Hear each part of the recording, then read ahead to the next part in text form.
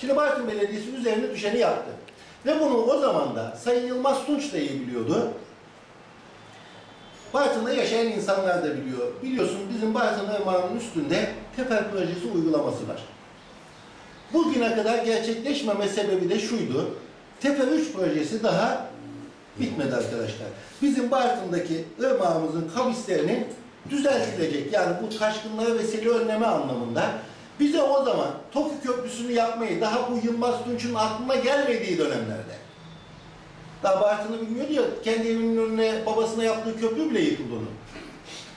Yani organize sanayinin köprüsünün bağlantı yolunu yapmayı unutan adamdan TOKİ Köprüsü'nü mü bekliyorsunuz? Onun aklına gelmediği dönemde biz bir çalışma yapmıştık. Ve bu çalışmayı yaparken de bize demişlerdi ki arkadaşlar sizin köprü yapmayı düşündüğünüz alandan tefer projesi geçecek. O tefer projesi geçtikten sonra yapacağınız köprü karada kalacak. Bu tefer projesinin bitmesini bekleyin dedi. Tefer nerede? Tefer iflas etti. Tefer... E, yani- Tepe 3 projesi proje ihalesi yapılmışlar. DSİ'den gelen Yok ya. en son yazıda Öyle bir şey yok ya. eee, böyle bir şey var. Evet. Şimdi biz o zaman olmaz dedik.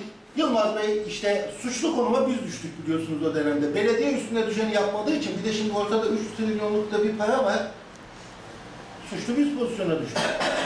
Yani o zaman da şunu dedik. Ya siz üstünüze düşeni yaptınız mı ki de belediyeden bunu istiyorsunuz? Esasında bunun olması gerekeni şuydu. Sıralaması. DSİ'den olumlu görüş. Bayındırlık Bakanlığı'ndan, şimdi Çevre Şehircilik Bakanlığı olumlu görüş. İşte Koruma Kurulu'ndan olumlu görüş, karayollarından olumlu görüş. Ondan sonra bu dördü geldikten sonra belediyenin yapması gereken para, ondan sonra işlemler, ondan sonra para gelecek ve köprü yapılacak. Biz işi Sayın Yılmaz Tunç, ben o paranın olduğuna da inanmıyorum gerçi de, mutlaka vardı para ama o iş için değildi. 3 trilyon para geldi, belediye üstüne düşeni yapmıyor. Biz yaptık. DSİ'den olumlu görüş alamıyorlar. DSİ'den gelen görüşleri şu. Daha biz orada çalışmayı yapıyoruz. Şu anda sizin TOKİ köprünüzü yapmanız mümkün değil. DSİ belediyeye bağlı değil. DSİ hükümetimize bağlı. Açsın telefonu Sayın Yılmaz Tunç.